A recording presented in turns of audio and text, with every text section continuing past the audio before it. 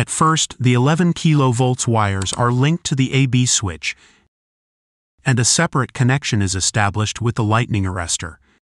These lightning arrestors are like shields for transformers, keeping them safe from lightning strikes by guiding the lightning's energy away. The AB switch, or air break switch, is typically installed outdoors for isolation.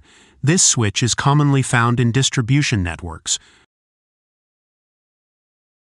providing a means to disconnect or isolate sections of the electrical system. Further, the AB switch is connected to the fuse. These are the horn gap fuse. The high voltage connection is made to the transformer HT bushing.